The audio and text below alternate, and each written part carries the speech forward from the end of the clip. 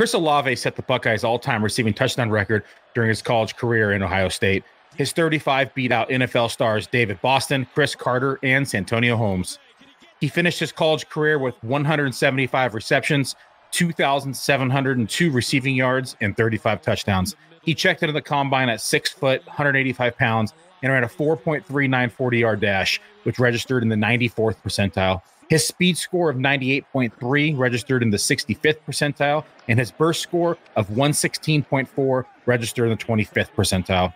Projected to go as a day one pick, Olave brings a lot of strength to the table. He is fantastic route runner with speed, cutting ability, and quickness. He's able to jab and juke and get downfield with his top end speed, creating vertical opportunities. Olave also has excellent ball tracking skills and adjusts his speed to ball flight and can scramble well with his quarterback. His areas opportunity start in blocking.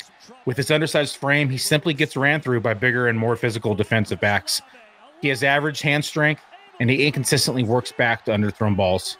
The bottom line, we expect Chris Olave's name to be called on day one, and his strengths as a route runner will be highly desired by many NFL teams. His top NFL comps include Stefon Diggs and Terry McLaurin. To see his projected dynasty rookie draft outlook, or to see where we'd select him in our upcoming rookie drafts, visit his in-depth profile at the link below.